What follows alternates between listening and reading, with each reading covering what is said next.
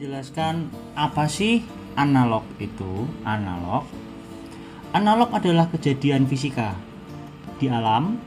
Misalnya kita mendengar suara frekuensi, bentuknya seperti ini ya, seperti ini, guys. Gyro, noise, analog noise-nya di seperti ini kan.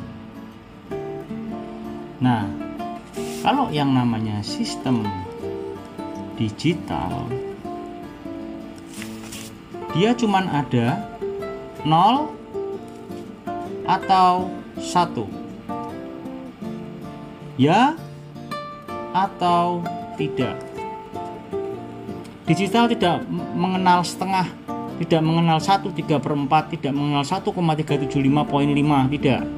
Dia hanya tahu ya dan tidak yes or no that's it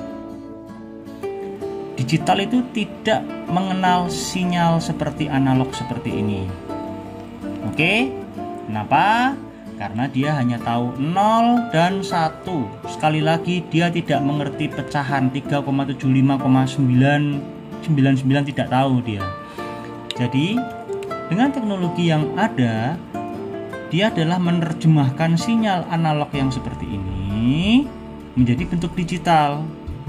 Gimana? Ya merepresentasikan dengan mengkuantisasi mengkuantisasikan kode analog ke digital. Contoh resolusi 3 bit.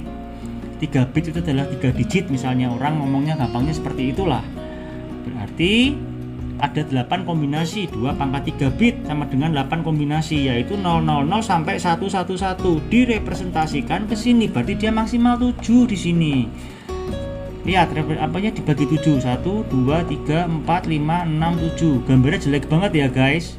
Kotak-kotak ini kayak orang nyusun bata ya. Tapi memang seperti ini kondisinya guys. Realnya seperti ini. Dengan resolusi 3 bit. Nah kalau resolusinya saya naikkan menjadi 16 bit atau 2 byte berarti kita mempunyai 2 pangkat 16 atau 65535 kombinasi. Bentuknya seperti ini sinyalnya dari F dari FC itu seperti ini bentuknya. Seperti ini bentuknya dirubah ke hex. Nah dirubah ke X berarti dari 0 0 0 nah 655 kombinasi ini direpresentasikan ke sini berarti kan lebih rengket toh guys. Lebih rengket di sini kan lebih rengket kan. Sehingga bentuknya menyempurnai menyamai ini bentuk analog. Di sinilah resolusi sangat berpengaruh terhadap detail sinyal yang diterima. Efeknya, karena resolusi lebih tinggi seperti gambar aja video VGA sama HD, resolusinya bagus mana?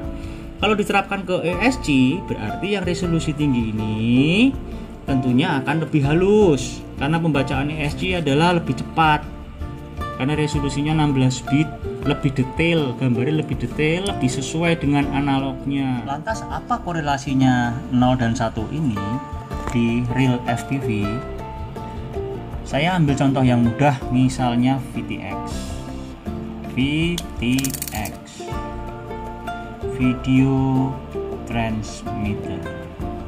Oke. Ini sinyal video. Sinyal video analog sinyal video analog. Nah di kita harus menentukan rentang set point ya. Satu itu ada sinyal. Misalnya di sini katakanlah RSSI nya misalnya katakanlah 10 dB misal. Di atas 10 dB digital menganggap ada sinyal.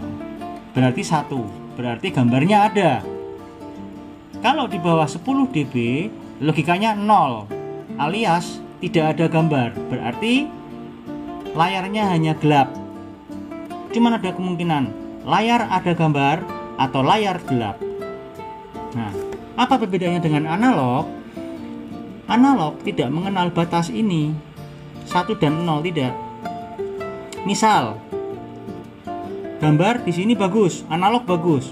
Setelah turun di sini, gambar masih tetap terlihat. Gambar tetap terlihat, sinyalnya ada.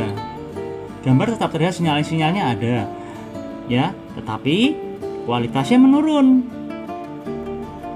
menurun terus menurun terus menurun terus menurun terus menurun terus menurun terus sampai di sini tidak terlihat sinyal sama sekali